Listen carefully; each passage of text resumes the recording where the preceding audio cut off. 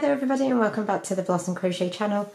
In this crochet tutorial I will be showing you how to make this really beautiful but definitely absolutely suitable for a beginner with its skill level and this is a beautiful granny triangle shawl.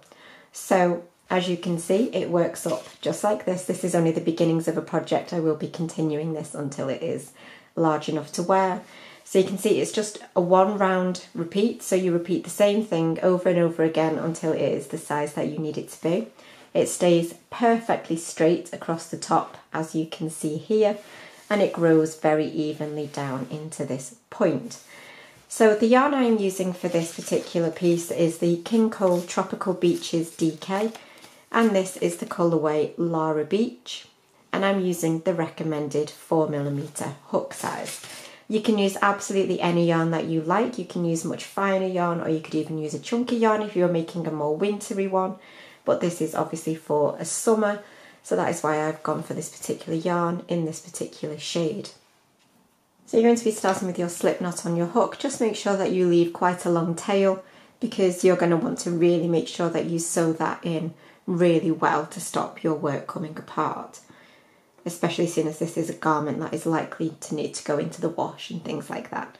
So first off you want to do a chain of four, so yarn over and pull through, it's one, two, three and four.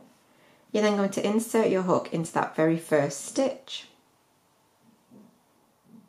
and you'll slip stitch, so yarn over and pull through both of those loops and that will just give you a centre ring here to work these following stitches into. So you want to chain four and that chain four counts as your first treble crochet and a chain one. So please just remember that I'm working in UK terms. So whenever you hear me say treble in the US, just remember that these will be your double crochet. So that is your first treble and chain one. We're then going to do a granny cluster and a granny cluster just consists of three trebles all in the same space. So yarn over, insert into that centre ring, yarn over and pull up, and you'll have three loops on your hook. Yarn over, pull through two, yarn over, pull through two. So that's your first treble.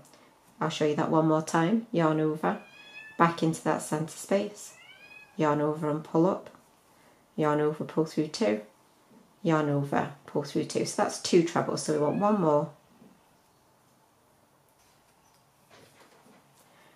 Okay, so we've got chain four, so we've got treble, chain one, and we've then got a granny cluster, which are three trebles. We're then going to be creating the corner, so the corner is what forms the point of your shawl.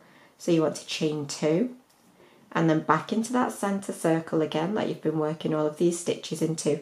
You want to do another granny cluster. So another three trebles. One,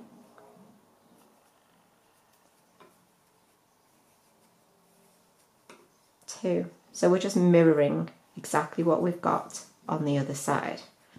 So that's our three trebles. So now we want to make sure that we finish in the exact same way. So you want to chain one and then treble into that center space once more. Okay, so that has formed the start of your shawl.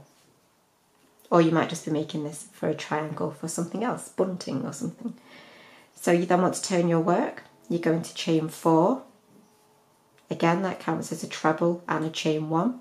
And then into this very first chain one space, so this space just here, you're going to put a granny cluster. So one, two,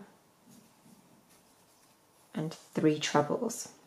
Chain one, and we're going to skip over this granny cluster from the row below, and that is going to take us into our corner space. And into your chain two corner space, to create your new corner, you will always do a granny cluster,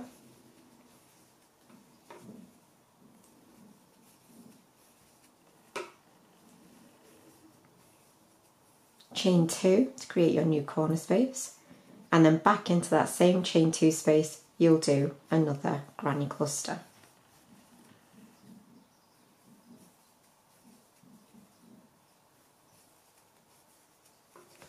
chain one, skip across your granny cluster, and then we're going to be working into this space. So this is technically a chain one space here. So you will do granny cluster into that space. One, two, and three. And then again, chain one and a treble back into that same space. Okay, so that is how we're looking at this point. So I've turned, again, you will always start with a chain four, and then into that very first chain one space, you'll do a granny cluster.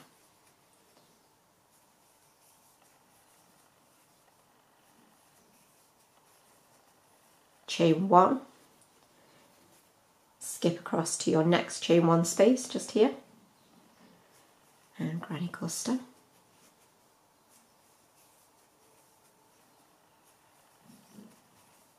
chain one and then you're at your corner space. So you'll do granny cluster chain two granny cluster all in that chain two space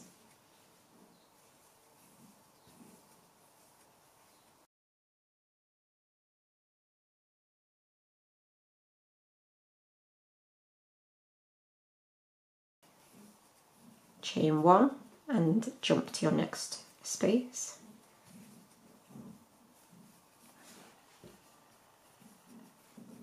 Do your granny cluster, chain one, and then again in your final chain one space, which is just here, you will do granny cluster,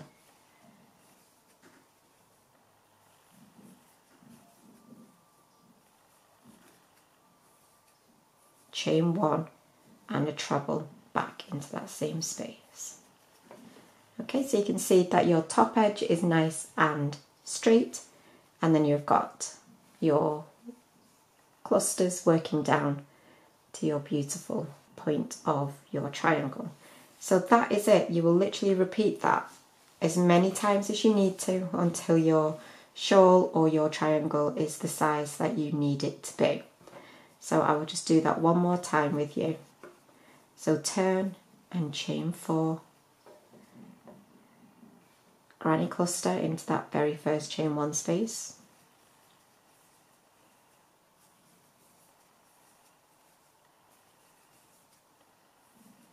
chain one, skip to your chain next chain one space and granny cluster.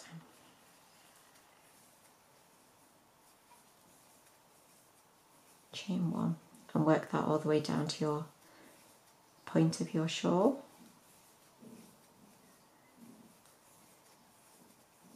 And then in your chain two space, your granny cluster, chain two, granny cluster.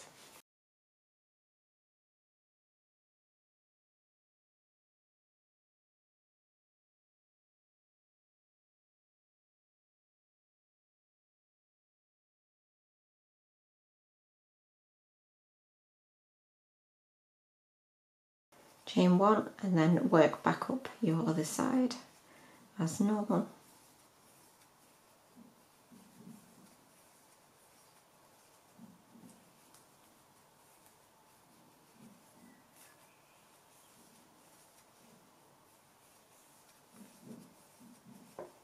And then in your final chain one space, you will do your granny cluster